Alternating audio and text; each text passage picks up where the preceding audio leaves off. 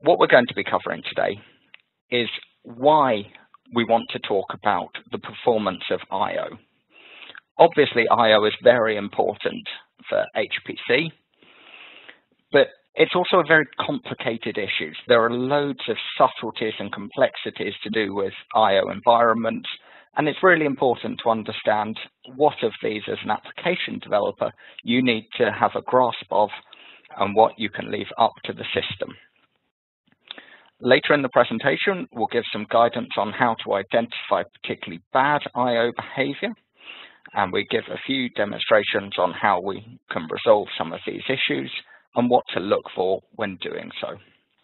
Lastly, we present a summary of Allinea tools and some information on how those tools can be used for you as application developers to get a grip on I.O. performance. A quick note about Allinea. We provide some of the most leading edge tools for application developers for HPC. Specifically, we provide the DDT debugger and the Forge development suite, which covers map and performance reports. Some of you may be aware, as of December 2016, Allinea was taken over by ARM. Now, I want to take this opportunity to reassure all of our customers and potential customers that the objective of Allinea is to continue to be a trusted leader in tools for HPC across every platform, regardless of if they are on an ARM platform, an Intel platform, AMD, IBM Power. We will support these as we do already to reiterate, this means you will have the same team of people working with you. That will not change. However, being part of the wider ARM community gives us a strength to deliver on some of our roadmap points much faster and with more agility. And furthermore, we maintain full commitment to providing this cross-platform support for HPC and will not lock down our tools to the ARM environment. So, back to the matter at hand. Well, what is actually driving these I.O. requirements? Well, applications are defined by their data sets. We're trying to do science here. At every opportunity, we're striving for higher resolution, more particles, finer meshes. We want to get more out of our application. And quite often this means larger, more complex jobs. We might want to couple models. We just want to make things bigger. And this means more data. But the problem is, to run bigger jobs we have failures on systems. We need to protect against this. So you might have checkpoint restarts in your code.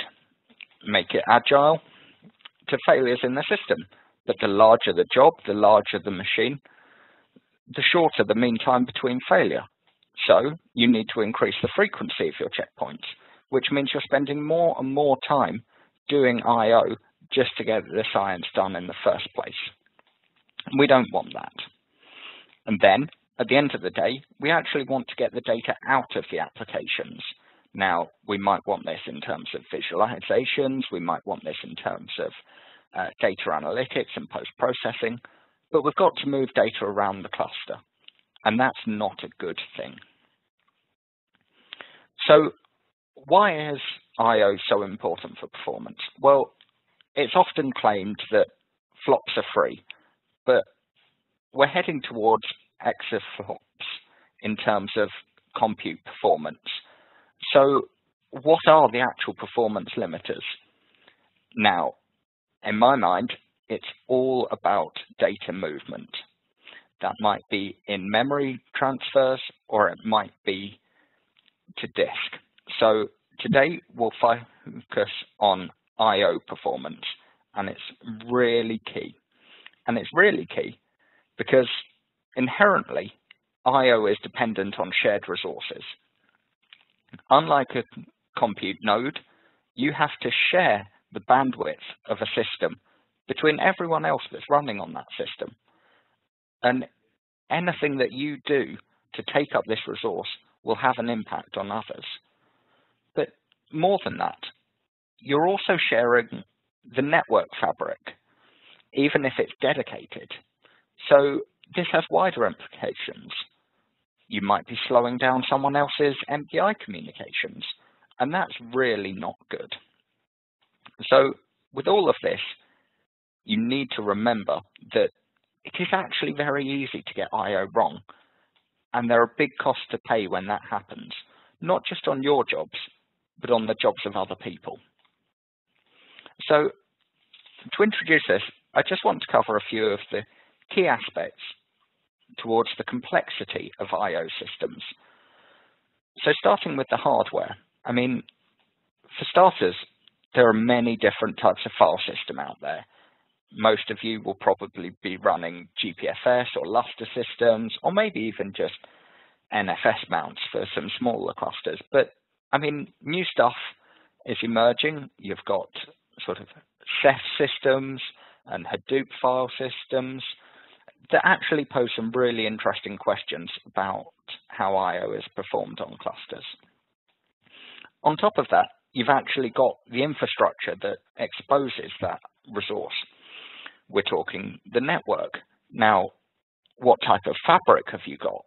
What is the topology deployed for that? And that's really important to understand because I.O. choices on these different systems will really depend on what you have available. So another option is does your system have dedicated I.O. nodes? And then you get to thinking about job placement. What's the impact of this? You've got plenty of other considerations from a system perspective that also need to be taken into account. Some of those involve emerging technology that's coming on the market to help improve I.O. performance. But all of these just add to the complexity of the systems that we're dealing with. Now, as application developers, we can't actually do anything about the hardware that's available. But what we can do is be aware of it and tune our applications to really make the best use of this hardware. What we are in control of is the software side of things. So we really need to understand the applications that we're developing. Inherently, what is the strategy of the I.O. that is being performed? Is the application predominantly reads? Is it predominantly writes? But more than that, how's it actually accessing the data? And what are the implications of that? So we might be doing direct read and write calls. We might be using um, calls provided by a library, such as MPI.io, or we might be using something more hardware informed, such as HDF5 or Adios, or maybe even something really more advanced like scalable checkpoint restart libraries, which actually provide more of an understanding about the underlying architecture and can optimize for you. Equally, there might be some libraries in there that actually do some reorganization for you and save some of the hassle, which at the end of the day is something we'd all like to see.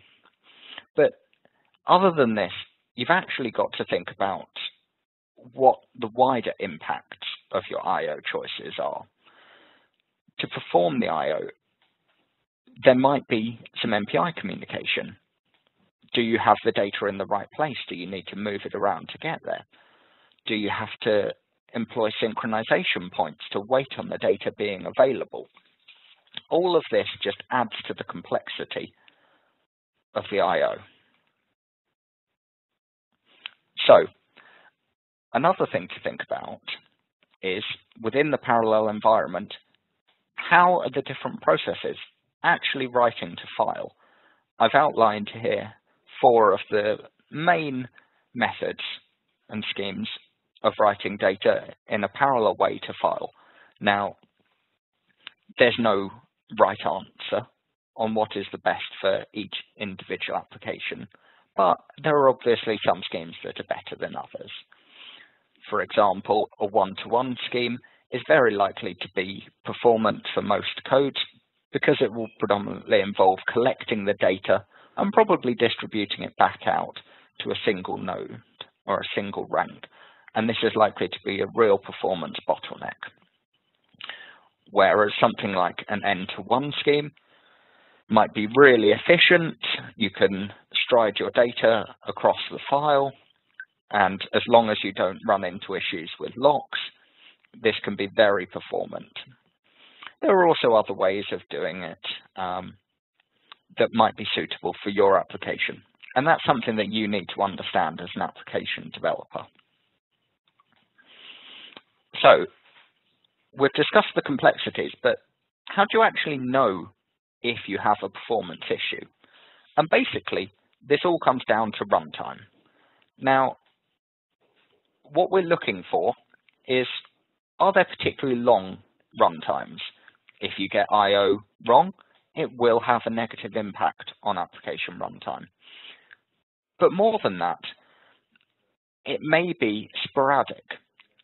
Are there periodic slowdowns in your code? Are there times when you think it's actually just hung and you're not sure whether it's your application, it's the node, it's Lustre, you just don't know. And then are your sysadmins just really unhappy with you? If you're running into that kind of issue, chances are you've probably got a performance issue from your I.O. So what we want to establish is a workflow of monitoring and resolving I.O. performance issues. So I've outlined here the five stages that are key. And I think it's worth mentioning that this is really important that this is a cycle. This is something that you should be doing consistently. And throughout the course of this presentation, I'll be touching on the different topics covered here. But predominantly, we want to be able to observe that we have an I.O. performance issue, have the tools to investigate that I.O. issue, find some means to resolve it, validate that the changes we have made have actually fixed the issue in a correct and suitable manner. And lastly, we want to monitor we don't want this performance issue to reoccur. Now, Allinea tools can help with this, and this presentation should hopefully give you some information about how you can use our tools in your workflow to understand more about your codes and resolve any issues you encounter. So for those of you who aren't familiar with the Allinea uh, toolsets, we have two main tools that we'll be covering here. We have performance reports, and this is a very high-level application health check. It produces a single HTML page analysis of what your application was up to, giving you a rough breakdown of where it spent its time in terms of resource utilization. Now, as part of this, we provide a rough I.O. breakdown again, informing you where your code is spending your time. Now, to dig a little bit deeper, we have the Allinea Forge suite. Now, specifically within this, we're focusing on the map product. This is for performance analysis, and it provides an in-depth means of looking at your application over time, finding out what was happening in this case, we're really interested in what I.O. was taking place and hopefully tracking down where our issues were occurring.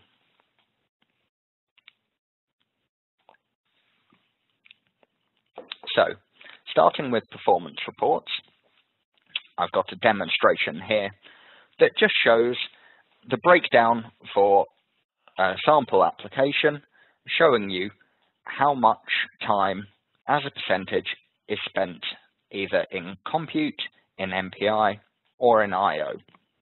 Now, the collection of this is incredibly low overhead. We're talking maybe 1 or 2% of your application runtime, just to give you a really useful breakdown of what your application has been up to. And this will just tell you, is everything okay? This is just a high level health check. So this is good to run on a frequent basis and just keep a track of how your performance is showing for each application. And that's great if you're changing your code whilst developing it, you're employing different uh, problem sizes, and you want to understand the implication of that. So this is a really useful tool for just seeing where things are. And on the left, you can see a rough breakdown for I.O. to show where, with respect to that 18% of our time, is it actually going? Are we spending our times in reads or are we spending our time in writes? In this example, it's all writes. And we don't have a very good write rate. So moving to the map software, we can present a far more in-depth analysis of I.O. So here we see the application activity over time. Now this is a different application, and we see here that we have incredibly bad I.O. performance. We're actually spending 96% of our application runtime in I.O. routines. Now, that's not good. So this is really useful for just showing you where your application activity takes place. Now, this is the default view within map, but we can easily switch it to an IO-centric view. This provides us a bit more information over time to do with how much data was being read and how much data was being written during the application activity. And that really helps as an application developer to see what issues are occurring and where over the application's runtime. And as we can see with this example, the performance really isn't great. So what we're actually talking about here is an N-to-one access scheme. We've got multiple instances of the program accessing the same small file on a GPFS file system. Now, this is fine in most parallel file systems. The files are striped across and we can access them without any issue. However, as the file we're accessing is actually very small, it all resides in the same chunk. And to maintain safety on this, the file system, even a parallel file system such as GPFS, needs to lock this file. And this has some serious performance implications. We saw that we were spending 96% of our runtime in I.O. Now, for this example, that actually accounted for spending minutes to write single bytes, and that's just not acceptable. So, what we did was actually spread those accesses out. And as you can see from the uh, map graphs presented, this is really beneficial for this instance. So the amount of time in file I.O. has dropped massively from 96% down to 35%, but more importantly, the total runtime has reduced from 1300 seconds to 44 seconds. And what we start to see here is the CPU floating point intensity really increasing during the times when we're not performing this I.O.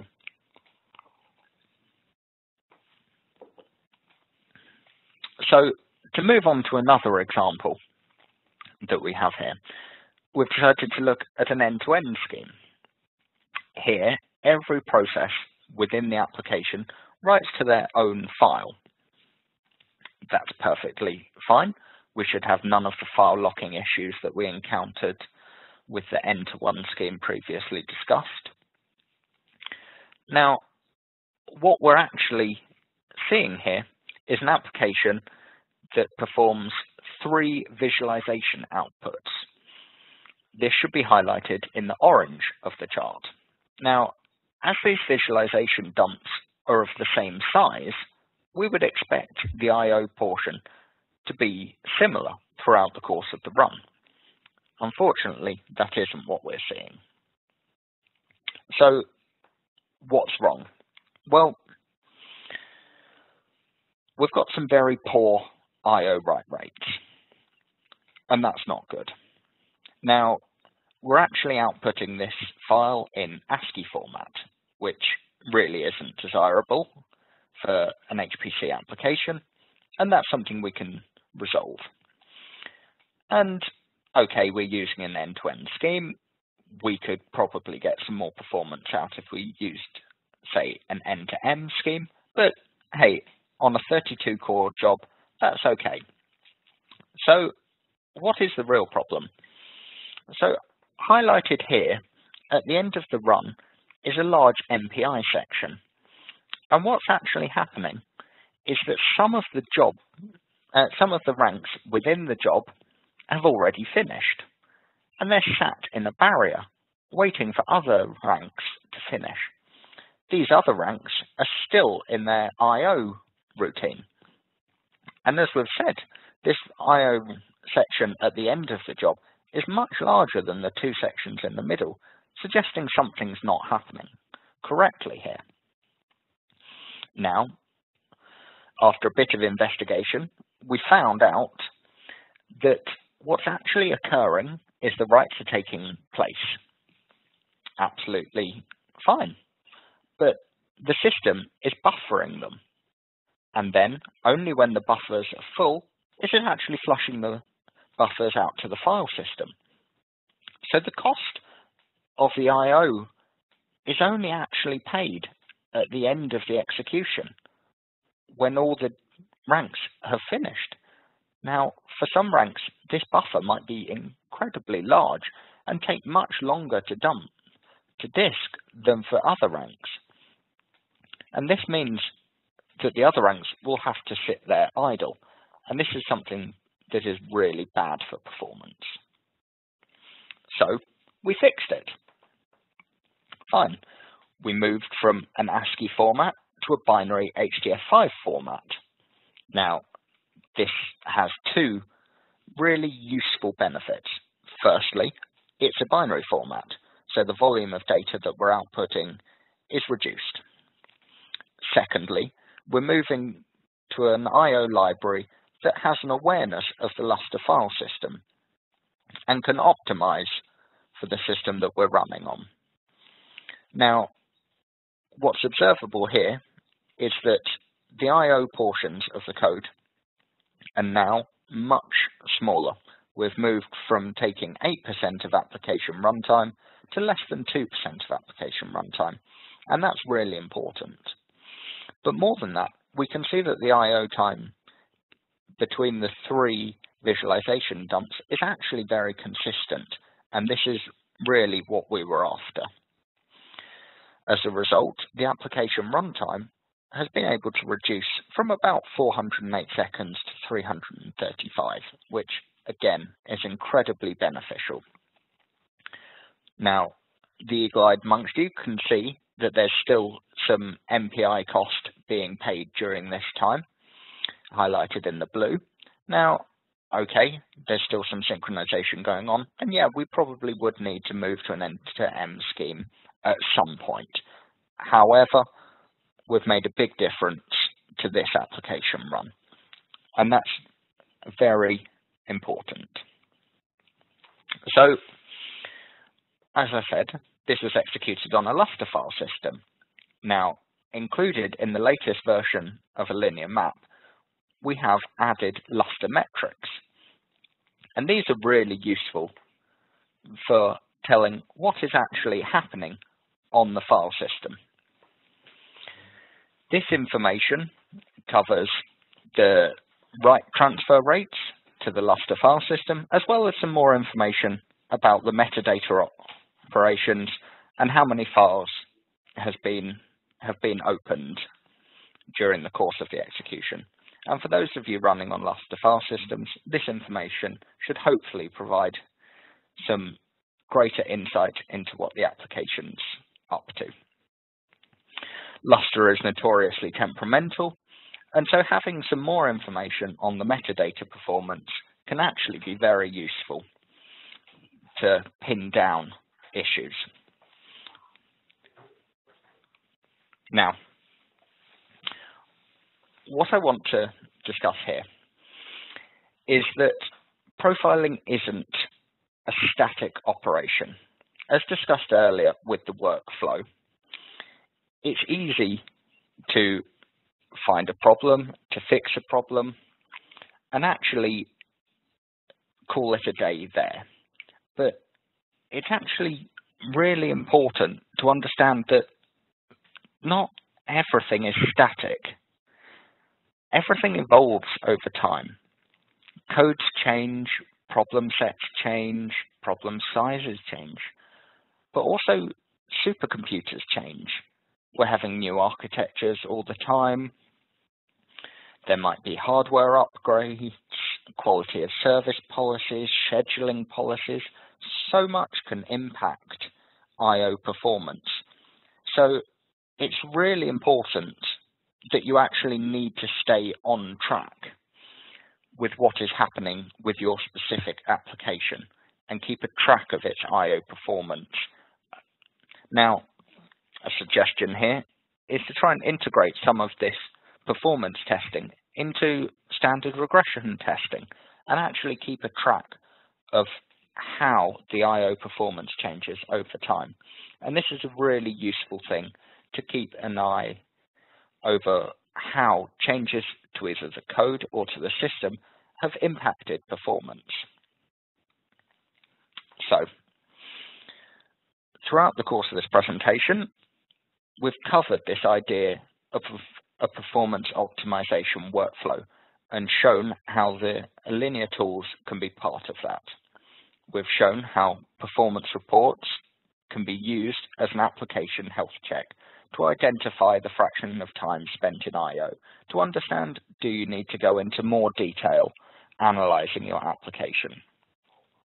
For our case, we've looked with Allinea Map at two instances and identified some issues with specifically write rates, one of them causing issues with MPI synchronization, and been able to show a fix to these problems and validated them with MAP to show that the performance optimization really was gained. Now, this is something that we would love you to try for yourself. So there's free trials available of all the Allinea toolsets. You have to register on the Allinea website and you can download a free trial license that should be good for 64 processors for about a week if you need a renewal to this, that can be discussed with one of our sales team. And this will provide you access to the whole Forge suite, including the DDT debugger and the map performance tool, as well as the performance reports covered earlier. And then what we'd really like you to do is talk to us. We'd like to know what you're trying to do with it and what problems you're facing and how we can help you. And that concludes the end of this presentation.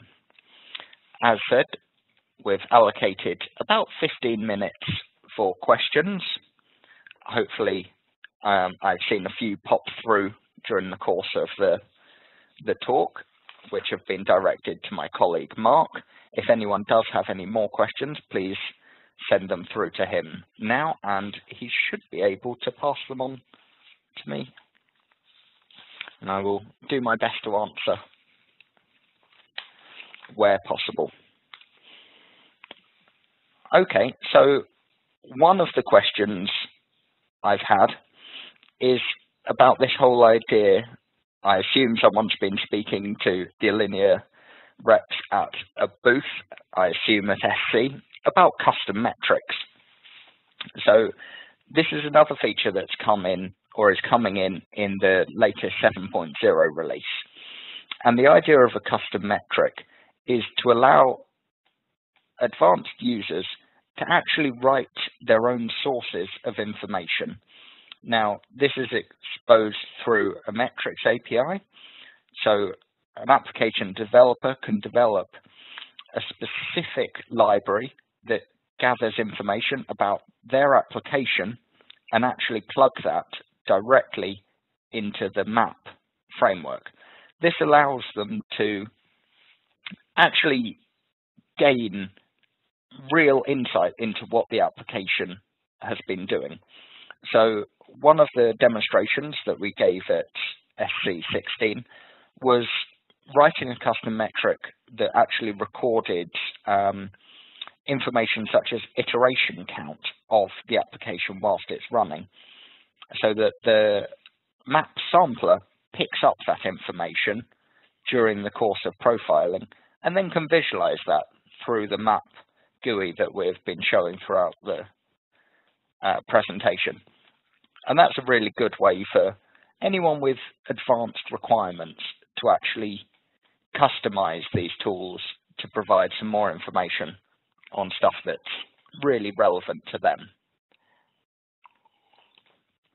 As I said, this is quite a complicated um, approach to uh, getting data into the um, map toolset and should be considered for advanced users only.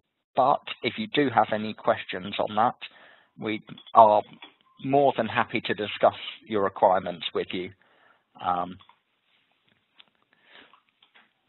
excellent. So I've got a couple of questions that have come through um, since that. And the first one is about sampling interval. So this is actually a bit complicated um, with regards to map. So map is designed to be incredibly lightweight and scalable. As such, it samples your application. Now, the objective of map, unlike a lot of other tools, isn't to sample at a set interval. So the suggestion here was, is it a 10 second interval? No, it isn't. What we actually aim for is a thousand time samples. So we have a sampling frequency that we change as your application is running. This means if you have a application that runs in a minute, we would hope to get a thousand samples. If you have an application that runs in, I don't know, a day, two days, we still want to get that same number of samples because keeping a sample interval of 10 seconds for something that's running in days would just produce far more data than you'd ever want to actually process. So we try and keep it to a thousand time samples. Now, obviously, there are some very clever smarts in the back end to aggregate samples that have been taken over that time and to maintain any salient information that's collected there. What we also do is maintain and merge those samples uh, across the different processes that take place. So this means, as you'll see through the map GUI, say if you're running on 16 processes, you've got your 1,000 samples in time, you should have 16,000 samples in total. Now, after a lot of work, we're incredibly confident that that provides a sufficient amount of information to analyze your application. So yes, you're missing quite a few points, but with a thousand samples, if you're not hitting one of those samples, it's unlikely that it's relevant to the performance of your application. Um, if you believe it is, then we're really interested in you challenging us on that, and we can work with you to tune the sampling rate and the sampling interval to your needs to get the most out of your application. I hope that answers that question. Now, one of the other questions that we've got in here, in fact, actually, we have two on GPFS metrics. Now, that's a really interesting um, question. So GPFS is handled a bit differently to Lustre. Um, with a standard Linux kernel, um, you actually get a file produced on the uh, block-based operations to a Lustre file system. Um, and this allows the Allinea tools to sample this file and understand what is actually happening on your Lustre file system. Unfortunately, there isn't an equivalent for GPFS. So we've done some work um, as part of a research project to actually capture a bit more information for GPFS um, with regards to file operations, to opens, to writes, and we're confident that there is more information there that we can capture and that we can share with our users through the tool. However, for the minute, this is still in the development phase and will not be released as part of the 7.0 release that will include the Lustre metrics. Um, again, if you have any specific needs for GPFS, we would love to talk to you and understand those requirements and work to get the correct metrics for how you'd like to be able to analyze your application. So, I hope that answers that. the next question I can see on my list is with regards to the regression testing. So, uh, we demonstrated integration with the Jenkins suite at SC16, um, and there should be some literature from us about how we achieved that. Um, but one of the somewhat hidden capabilities of the Allinea tools is actually to be able to export the data that is contained within them. Both map and performance reports have options to export this information into standard text files, into CSV files, but also some more machine readable files such as JSON output. Now this JSON output is really easily digested by any kind of um, uh, performance monitoring tools that you might have. And this allows you just to collect this information over time and just feed it into your data store and then be able to query it at a later date to actually understand um, what's happening to your application over time.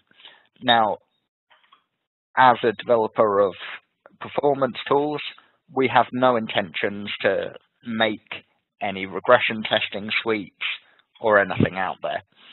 We merely want to provide the data that is collected about your application and make it accessible to anywhere that you want to store it and any means that you want to post-process that information. Once again, we're more than happy to work with people if they have any specific requirements or interesting projects that they'd like to do surrounding this. Oh, right.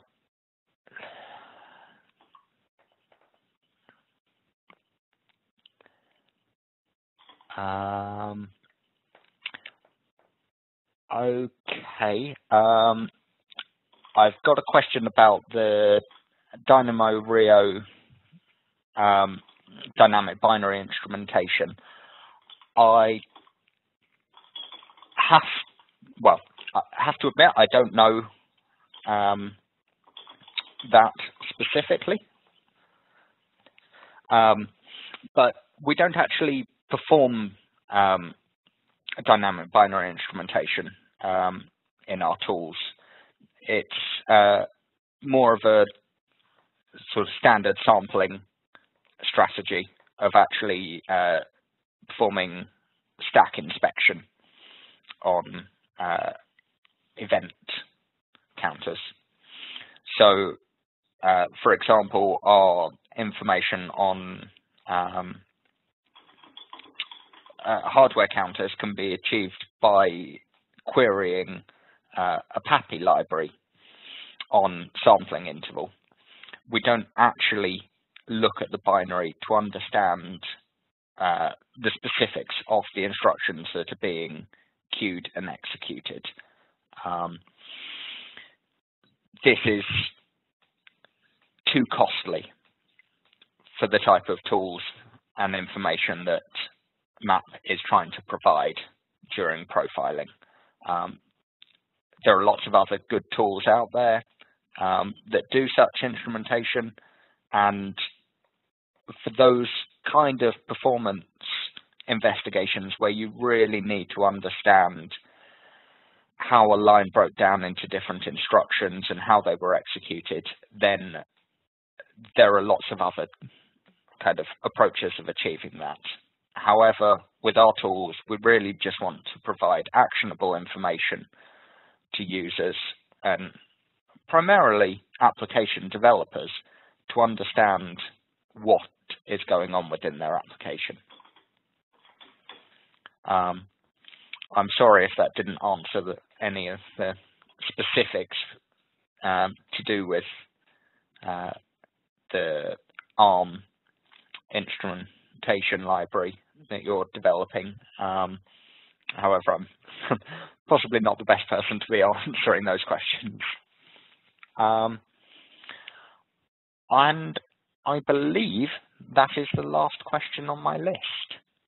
So if no one has any pressing matters, I'll take this opportunity to remind people to sign up for a trial on the Allinea website and download your free copy and get testing and see what you get out of it.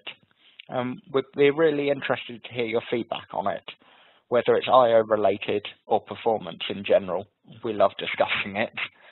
So please let us know. Um, and you should have all the required email addresses for the sales and support team. My email address was provided on the cover slide of this presentation, and this will be available on the Allinea website, and the webinar will be uploaded to the internet in due course. So I'd just like to take this opportunity to thank you all for taking part and listening. It's been a great experience and hope to hear from you soon. Thank you. Bye.